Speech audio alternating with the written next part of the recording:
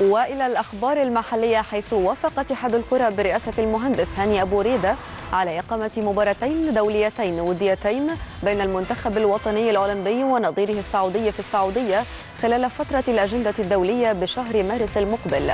وجاءت موافقة اتحاد الكرة استجابة لرغبة الاتحاد السعودي لكرة القدم الذي حدد يومي الثالث والعشرين والسادس والعشرين من مارس موعدا للمباراتين في خطاب رسمي أرسله أمس عبد الإله بن معتوق الأمين العام للاتحاد السعودي إلى اللواء ثروت سويلم المدير التنفيذي للاتحاد المصري.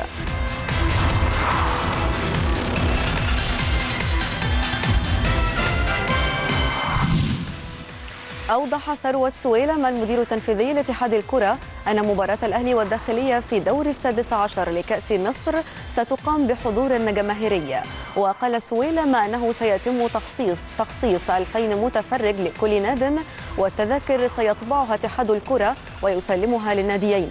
وأضاف أن كل مباريات كأس مصر حتى المباراة النهائية ستقام بحضور جماهيري وسيتم الإعلان الأسبوع المقبل عن جدول المباريات والملاعب التي ستقام عليها.